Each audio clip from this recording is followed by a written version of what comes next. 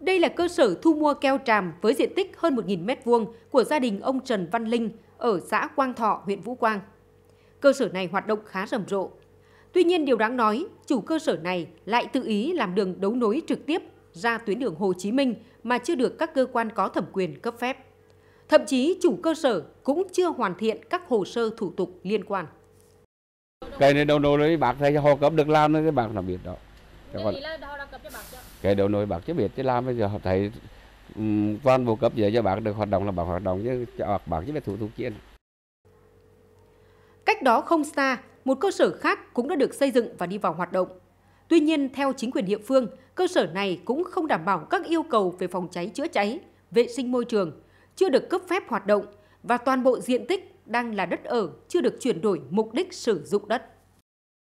thì đất ở thì anh nhưng làm gì làm anh chưa ở thì anh cho thuế chứ cái đó thì thì, thì họ cũng biết có quy định mẫu nhưng mà đất ở thì chưa ở thì cho họ thuế làm Việc các hộ dân xây dựng các điểm thu mua keo tràm, tự ý lấn chiếm hành lang an toàn giao thông, đấu nối trái phép trên các tuyến quốc lộ, tỉnh lộ, hoạt động không phép tiềm ẩn rất nhiều hệ lụy.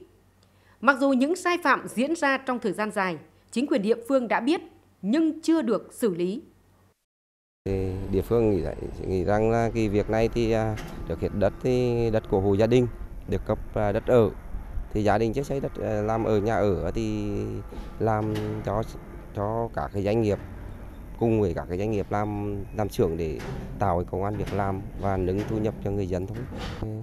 Theo địa phương thì ờ, về cái công tác quản lý địa phương thì phần nào cũng có theo quy định của pháp luật là chưa đảm bảo.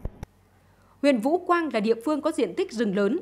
Việc trồng gỗ nguyên liệu mang lại nhiều lợi ích kinh tế cho bà con nhân dân. Vì vậy, việc hình thành các điểm thu mua, tiêu thụ keo tràm cho người dân là rất cần thiết. Nhưng các điểm này phải được quy hoạch hợp lý, được chính quyền và các ngành chức năng cấp phép hoạt động, không tự ý đấu nối với các trục đường tiềm ẩn nguy cơ gây tai nạn giao thông. Có như vậy mới đảm bảo phát triển bền vững, tạo thuận lợi và an toàn cho người dân và doanh nghiệp trong việc mua bán, tiêu thụ gỗ nguyên liệu.